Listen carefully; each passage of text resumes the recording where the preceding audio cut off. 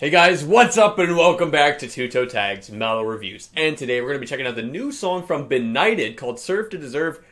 They dropped an album this year. You know, brand new album titled Obscene Repressed. We reviewed it. Didn't get Two Toe Tags, but it was still a cool album. But Yep. it's weird to think that they dropped an album and now they're dropping another new song that isn't part of that album. Well, you know what? That's not normal, but it's also not surprising because since so many people are at home, you know, still quarantined and things like that because of COVID, um, people are writing music and recording music. That's fair. Right? That and it doesn't take much to record music these days. You don't have to get the whole band to a studio. You can do it in your own house, individually, drummer here, guitar player there, singer there, and then online set it together and mix it. Right? So That's it's pretty true. easy these days to do that. So that's what I think happened here. These guys are just bored at home writing new music, and Serve to Deserve is a new single by Benighted, and we're going to check it out.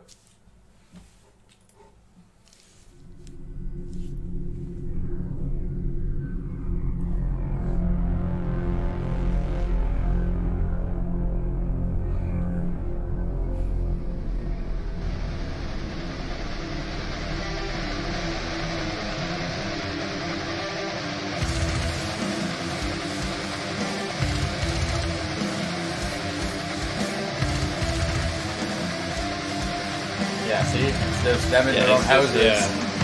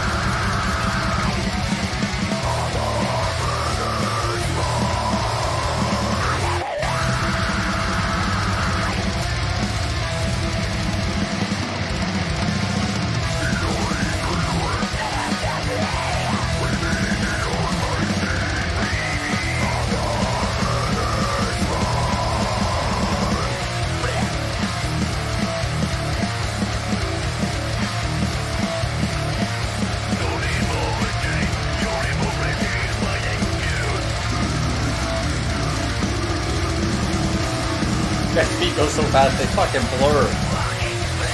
A nice swivel technique. Yeah.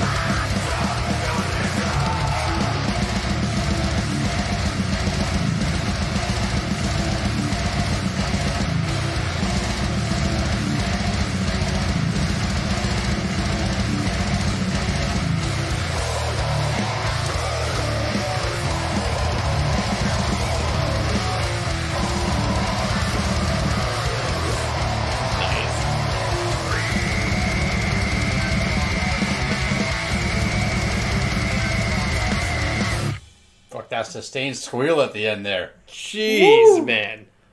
That song was fucking crazy.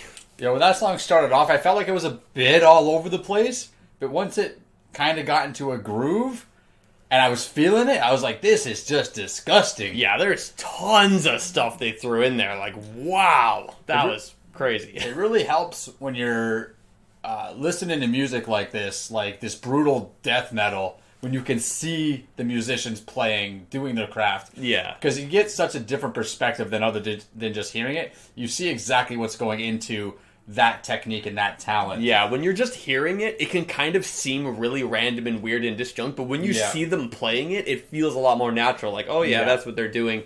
Like if you're watching the drummer, he's just oh, Yeah. so good. All the techniques he's pulling off, he's doing so well. Like Exactly. fuck, that was sick. And they had so much to offer. No too. love lost from the guitar players or the bass player too, because everybody looked phenomenal, and that's the thing. You get a, a different perspective and a different, a new appreciation for the talent that bands like this and guys like this bring to the table. Now, does this, you know, seem like it totally belongs on the recent record? Yeah, probably. I mean, all their stuff kind of, you know, fits into one package, but like that was sick. Like I kind of wish that was on the album because that totally would have been a standout track. I'm gonna wish that it's on a new album that they're maybe making, because you know I, I don't mind another Benighted album. Yeah, same. I mean, the last one was good. Yeah, so if they want to make 11 more songs or you know nine more songs, and then make an album, I'd be down for that. I'm not gonna complain. Yeah, I Benighted, I, don't mind either. Benighted. Yeah. Anyway, guys, that's all we got for you today. Remember to comment in the comments below. Tell us what you thought of this song, how crazy it was. What did you think of the album that released? Do you think this is part of a new album, or is it just a single out of nowhere? What do you think? Remember to like the video if you liked it. Subscribe if you guys are new to the channel. I'm TV Fish. I don't buy myself. and keep the horns up.